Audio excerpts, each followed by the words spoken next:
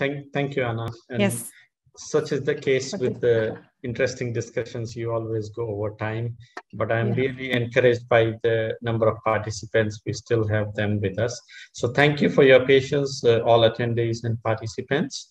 Uh, we are on uh, moving on to our last session, which is way forward uh, and wrap up. In this session, we will have uh, three excellent uh, speakers who have a great international experience, um, uh, who will share their insights uh, on the whole process uh, uh, of CNI and more so on peatland restoration and the, their association or the how these relates to with international um, uh, country level uh, commitments and so on and so forth. Uh, I, in interest of uh, saving time and my apologies to all esteemed speakers, I'm not going to introduce you individually. You are uh, well-known uh, people and people can find more information about your work and, and your association on our website. But I'll invite first Maria Nuutinen from FAO to share her insights uh, and peatlands monitoring in global context. Over to you, Maria. Thanks so much, Rupesh, and thank you for CIFOR colleagues. Always very inspiring, uh, solid, very interesting sessions that we are having. I, uh, let me know if you can't, if there's any problem with what you're seeing. I prefer uh, presenting in this mode if that's possible. Yeah, so my, my name is uh, Maria Nuutinen. I am um, lead, thematic lead of uh, FAO's work on peatlands. And this presentation is a compilation, a whole lot of people, uh, in particular Adam Gerrand, who is today here also at the session, uh, Elizabeth Rams, who is uh, working and helping us to work on the Indi work on uh, in Indonesia, and Laura Villegas uh, in charge of monitoring aspects. Um, not everybody could be here today, but uh, this is indeed a group work. So just uh, showing um, um, uh, underlining the, the momentum and the advances that we are having at the moment worldwide. So there's of course increased recognition of peatlands. This is uh, well demonstrated by the Indonesian commitment on this. And one key aspect that I want to highlight here is the CBD process for the biodiversity indicator. So let's not also forget about the biological diversity of the wetland species that are being, for example, um, uh, reintroduced to the peatlands. Um, then just want to touch upon on the technical innovations. As you may know, our unit here is working on remote sensing aspects, but the, this is not the only uh, area where things are advancing very rapidly. So we're hopefully having a lot more tools within a few more years. The same applies to capacity development, as you may see in the whole movement around the around Global Peatlands Initiative and also the development of capacity, not only in Indonesia, but worldwide is, is taking the knowledge and expertise also to a different level. And I want to here lift up the opportunity the UN Decade on Ecosystem Restoration brings to us uh, with also resources to develop this capacity. I will touch upon that a little bit more in the presentation. So here, just to highlight that peatlands is actually one of the key um, let's, let's say mm-hmm. types of restoration that the UN decade where it's focusing on and and the decade can help us also globally establish these kind of baselines looking at the success cases and for sure there's a lot of attention also to Indonesia the different tools and approaches which have been developed by different partners because this is really an effort that is managed it's coordinated by UNEP and FAO However, it's a really group effort with a lot of partners and units uh, that are contributing it. At, at, least, at least I think it's over 100 members to the to the UN decade at the moment. Um, so, for example, the, the decade is supporting currently in defining uh, the global indicators that will be monitored throughout the UN decade so the, the, the 2021 up to 2030, and then report it to the different countries who have requested this decade to be happening. And just let me highlight also here the science-based target for the peatland restoration.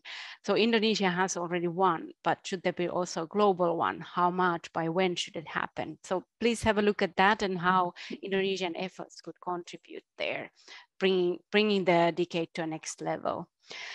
On this slide, uh, there's a too much text, but let me just highlight that we really want to emphasize what is in also quite clear in this uh, session that we need to build on science and solid information, but also the practitioners and field experience and bringing them together to support policy planning and decision making.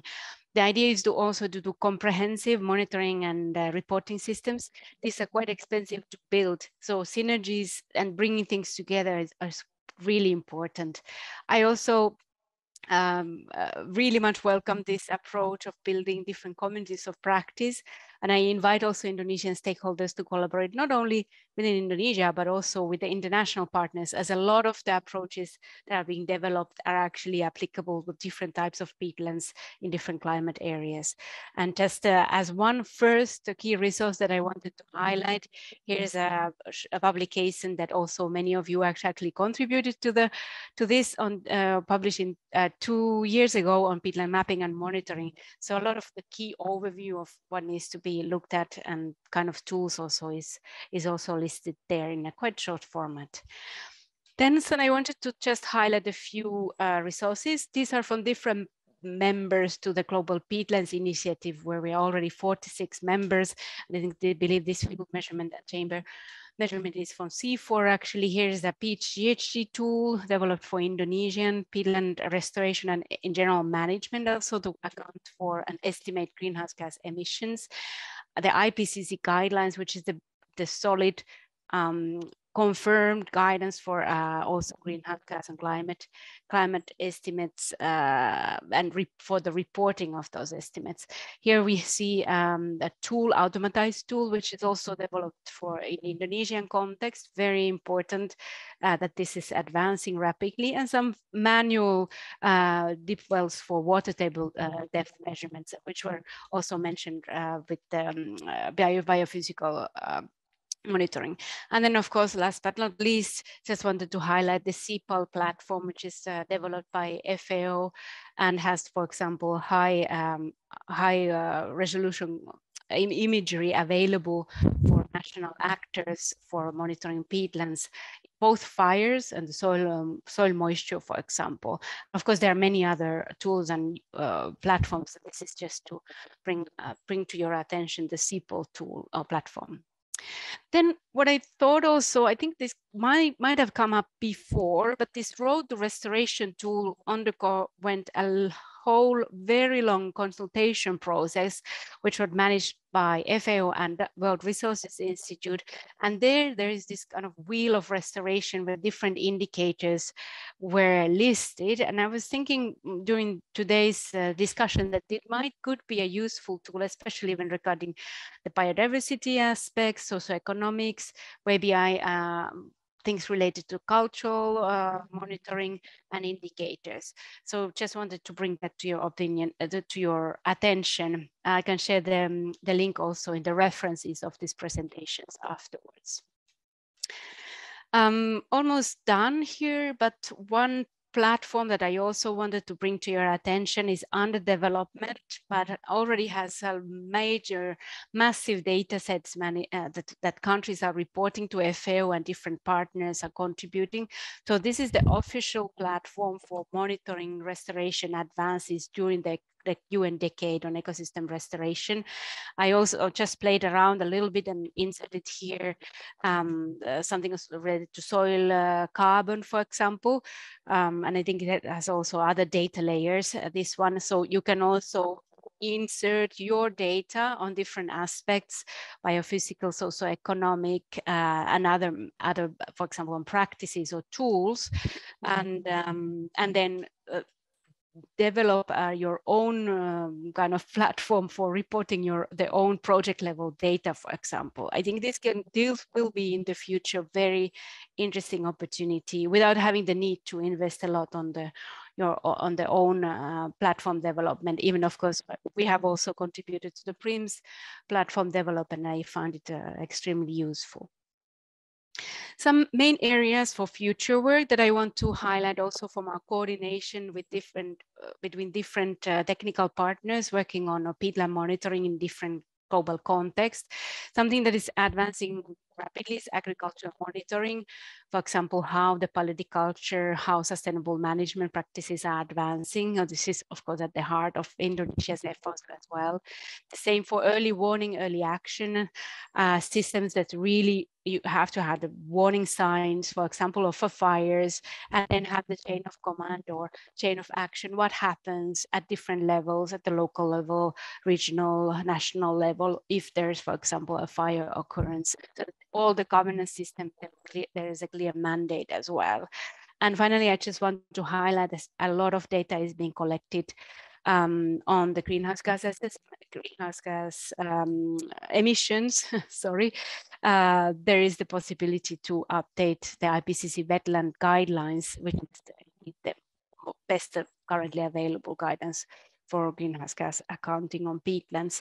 And I wanted to also highlight here one other tool, which is the IPCC Atlas uh, which is uh, helpful to looking at the current, uh, the, the, the, recent trends, past trends, and the projections in the future. So we see, for example, for the region of Southeast Asia, it shows there's a high confidence of increased uh, increased heat, of course, mm, a bit same as uh, today here in Rome.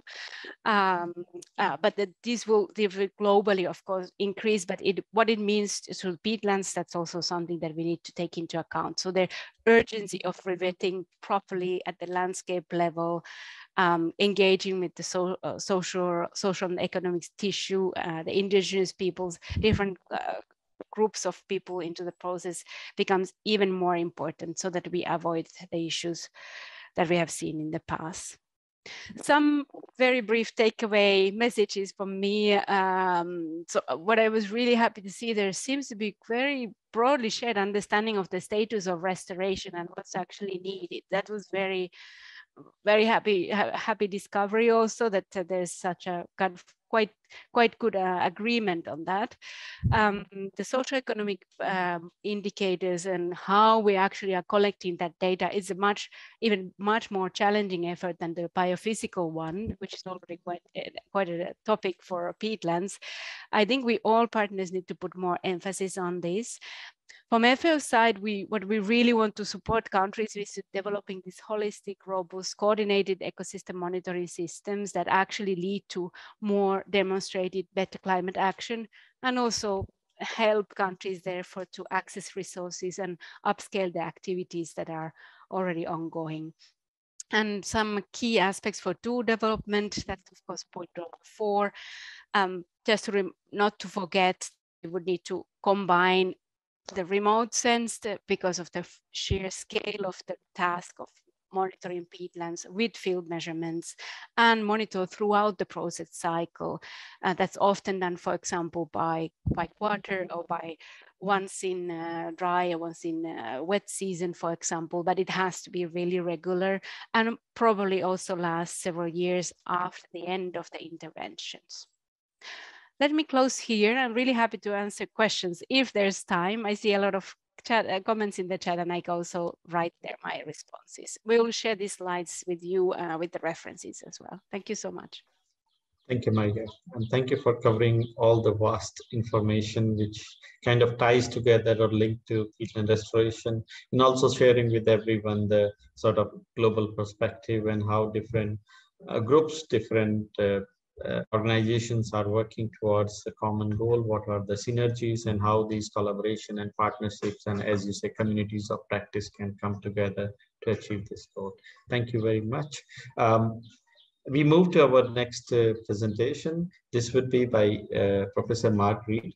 He could not be, uh, be uh, present personally, so he recorded a small video for us which is going to be his presentation. It is about eight minutes long. And we have uh, colleague uh, Johan Kieft from UNEP uh, with us today to answer any question or any follow-ups uh, related to that presentation. So may I ask uh, CIFOR events team to present? Yes, please go ahead. Thank you. Hello, and thank you for the opportunity to present today. I'm here for the Global Peatlands Initiative on behalf of Scotland's Rural College, one of many members of the initiative. Congratulations on the publication of your manual and for this important work. Uh, we need to transparently understand uh, simple, practical, and yet accurate criteria and indicators if we are going to monitor our world's peatlands and understand how they're evolving, how they're changing, especially in relation to restoration. Uh, and so I'm going to summarize some of the work that the Global Peatlands Initiative have been doing, and I will conclude with some work that I've been leading uh, for the initiative uh, on exactly this topic. So the initiative itself is broad, it's big, it's growing. Uh, we have now got 48 international partners uh, working across four uh, tropical peatland countries in depth, uh, but uh, there, there are no geographical boundaries to this uh, initiative. And this diversity is a real asset of the group. Uh, together with our members, uh, we are making progress on implementing the resolution for peatlands that was adopted in 2019 during the fourth United Nations Environment Assembly uh, on the, uh, the conservation and sustainable management of uh, peatlands.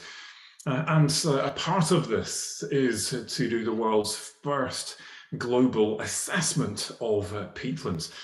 This global peatland assessment is going to provide uh, an overview of peatlands, trying to understand their extent, uh, their condition, uh, some of the threats, and some of the things that we can do to conserve, to restore, and sustainably manage those peatlands for future generations. We've got over 150 authors from around the world contributing to the 10 chapters uh, we have first order drafts now of every chapter, the plan being that we launch at the next Conference of the Parties in Egypt later this year.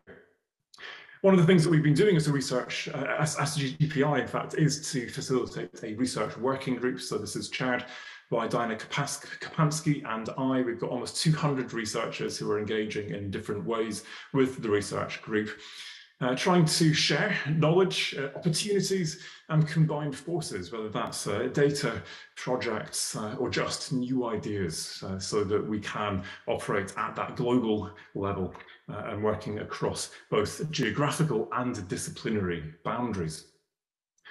Uh, you may have uh, come across some of this. Uh, I know a lot of you will have attended many of the sessions, whether in person or online. Uh, we facilitated the first ever Global Peatlands Pavilion at uh, COP26 in Glasgow. Uh, you can uh, see uh, some of the stuff on the screen here that we've done and the virtual pavilion that you can see here is still accessible and still growing. Uh, some huge impacts that have come from this in terms of agreements, collaborations, new initiatives. and we're following up both to find out the long-term impact and support that on an ongoing basis. Uh, but loads of things happening uh, across the world that we are feeding into across the UN system uh, in uh, each of the four focal countries that we're working in as an initiative and much more broadly. Uh, and one of the contributions that we're trying to make on this global level is to try and understand how we might better be able to coordinate what we do in this research space. We're all collecting lots of different types of peatland data, uh, but we're not doing this in a coordinated way. And that's a problem for policy. And so on the screen here, you can see some of the work that we've done towards this. And I'm now going to visit a local peat bog to tell you a bit more about this work and encourage you to have a look at our forthcoming paper. Now, I think we are all increasingly aware of the importance of peatlands in the global carbon cycle and why it is so essential to protect, conserve, uh, to sustainably manage, and where necessary, restore these habitats so that we can keep the carbon locked in our peatlands in the soil where it belongs. And of course, we want to base our policies and practices on evidence wherever we possibly can.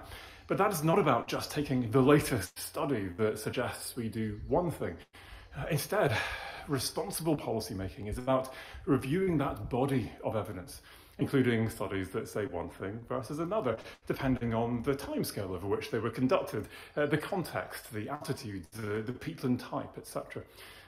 And to get that sense of actually what the body of work says, we need evidence synthesis. But that's a problem. Uh, almost everyone who tries to do an evidence synthesis in this area discovers that there are multiple studies out there, but they've all measured different things. And even where they have measured the same thing, they've measured it in different ways. And even if they measure the same thing in the same way, they may well have reported it in a very different way.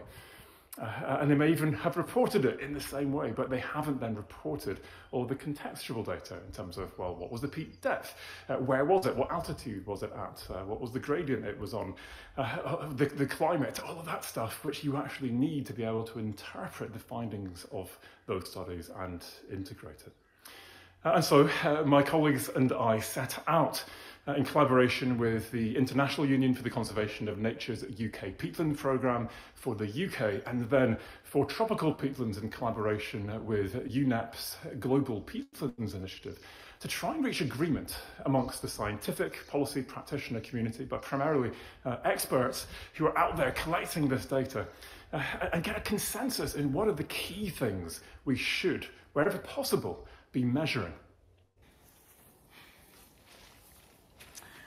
So to do this, we organised a consensus process where we brought together experts from the UK and from the tropics to try and agree on what are the core, the most important variables that wherever possible we should be trying to measure, whether that's a research project or a monitoring programme, perhaps post-restoration. Uh, and we did that in four different categories. So we've got uh, climatic variables, uh, carbon accumulation rates, greenhouse gas fluxes and the like, uh, hydrological variables, biodiversity variables, fire variables, especially uh, in the tropics. Uh, and the idea is now that uh, if we've got these core sets of variables uh, to choose from, then if I'm a researcher, if I'm running a monitoring program of all the things I could measure, here's some guidance now on the key things that ideally we need to know about to inform policy and practice. And if I choose from these lists, uh, then I increase the likelihood that I'm measuring the same things as other people, which then means that we are much more likely to be able uh, to synthesize, integrate findings from across different studies and provide much better synthetic evidence to policy and practice. There is, of course, more work to be done. Uh, we might understand what the core variables are that we're all looking for, but we need to decide what methods are most appropriate to collect data for each of these variables. And we need to think about how we're going to report that data as well, using tools like Peat Data Hub.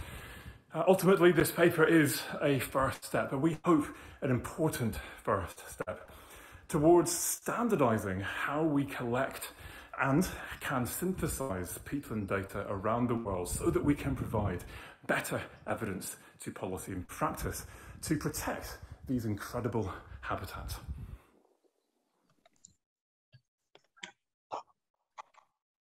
We thank Mike for recording this presentation. And I think one of the key messages is very clear, standardizing the methods or standardizing what we measure and how we measure so that it becomes a solid case or it be, becomes the evidence that can help in, uh, in or that can influence the policy in the right direction. Um, I do not see any specific question um, directed to this presentation, uh, but people are, uh, participants are welcome to respond there or, or give their feedback or ask question in the chat box.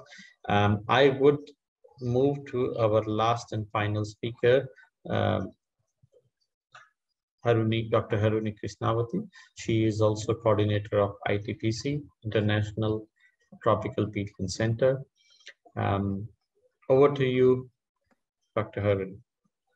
Yes, uh, thank you, Rupesh. Uh, good afternoon and good morning, colleagues. Uh, I'm the last one, but of course, uh, it is my pleasure to be uh, part of this workshop and appreciate for CIFOR and partners for hosting this workshop and all speakers uh, who have shared their presentation. Uh, I will not be giving any presentations, uh, but uh, based on what we have, we have been discussing today, I acknowledge the efforts in the development of criteria and indicators for peatland restoration and also field testing uh, the criteria and indicators in several uh, peatland restoration uh, area in Indonesia. And of course, uh, I should also acknowledge the government of Indonesia commitments on peatland restoration in ongoing action, including the development of the system to monitor peatland restoration, inventory, and mapping, which has also been supported by some uh, international partners. And we see that a lot of uh, knowledge, uh, information on tropical peatland restorations has been uh, available, and some action has been uh, conducted on the field to monitor the impact of uh, restoration on vegetation and water balance, as well as uh, social and economic impacts.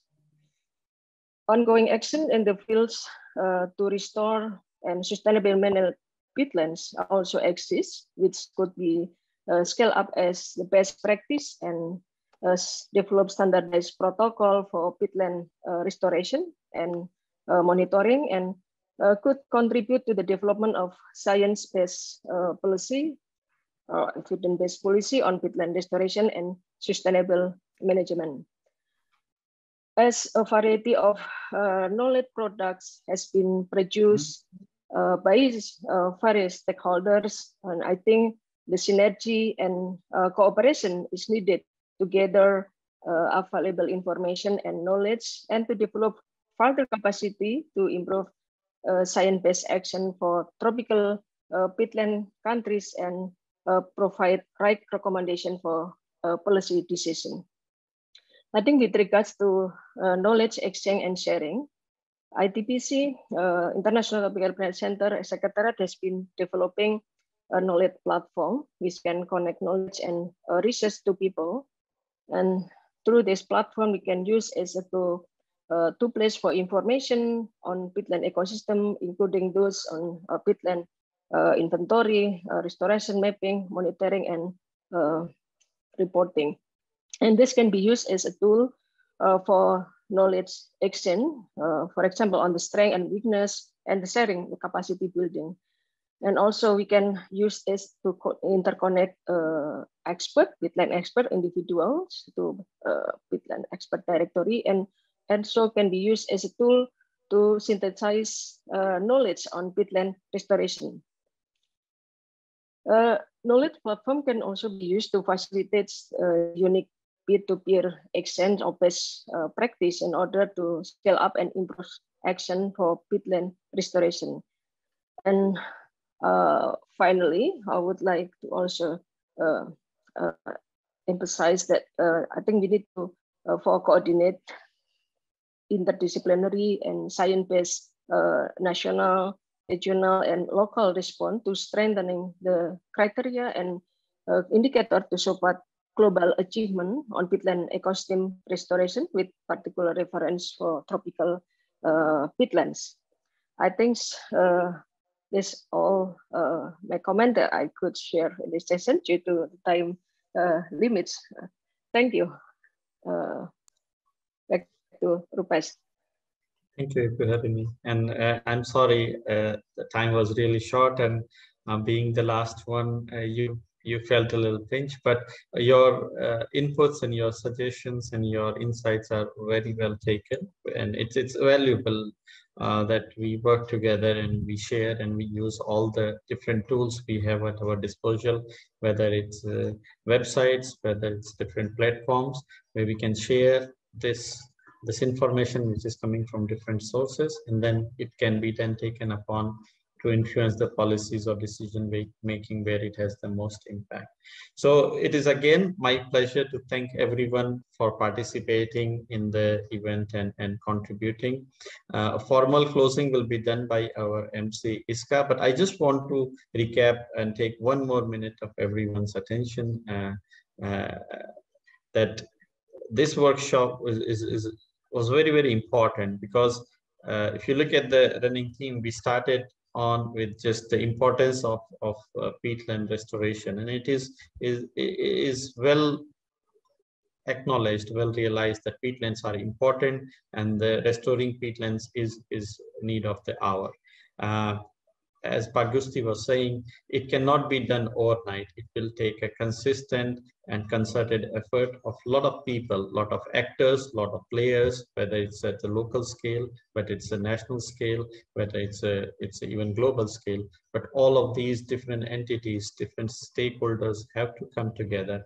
And as Paheri was mentioning, this the scale matters, not only for regulating, but also who governs who is making those uh, rules, whether we are taking into consideration the local realities, whether the existing practices and history of a site is taken into consideration. So we have to achieve a, a real impact, a successful restoration, all these things, all these different streams of information, data, uh, uh, evidence have to come together. There is an element of standardization if we want to report it to, because doing something or achieving successes is not really a full success if it is it cannot be replicated. If we cannot influence people if we cannot convince others that this is the way and it is a successful way and this is how you can solve your problem. So this is all coming uh, uh this is all a step towards coming together identifying what tools, what resources we have, whether it's financial resources, whether it's technical resources, whether it's the capacity, and identifying those gaps and then try to address them. It will only happen with uh, with with the concerted efforts, with with the progress that we make together as as group, as team. We may be representing different organizations, different uh, streams of maybe government or international organization or practitioners or maybe community members. But since we all are committed to the same goal, same objective, I think we, we can move forward. And I, I hope like all other existing tools and, and, and, and uh, things in place, criteria and indicators could certainly serve that, that tool, which can help us to progress towards that that goal, towards that objective. So I thank you everyone for these interesting discussions. I believe this will continue. This is not an end. And we look forward to share the, the manual that we talked and discussed in detail after incorporating all your feedbacks, relevant suggestions, and important insights. With that, I hand it over to our MC Iska to do the final closing. And thanks all for your patience and staying long. Over to you, Iska. Thank you, Rupesh, Pak Daniel and Mbak Anna for moderating the session, and all of resource person for your presentation. We would like to announce that there will be a post-event survey for evaluation of this workshop. We will share evaluation link in the chat box and also via email. We request all attendees to complete this survey and provide your feedback. Thank you. Now, as we conclude this exciting event, we would like to thank all resource persons, speakers and panel members, moderators, and engaged participants for your enthusiasm and active participation during this, this workshop. Today's presentation will be available on the event page of CIFOR website in the next few days. We sincerely apologize for any mistakes during the event. Thank you very much for all your support. Stay healthy and hope to see you in another time. Thank you. Terima kasih. Terima kasih. Bye-bye. Bye-bye.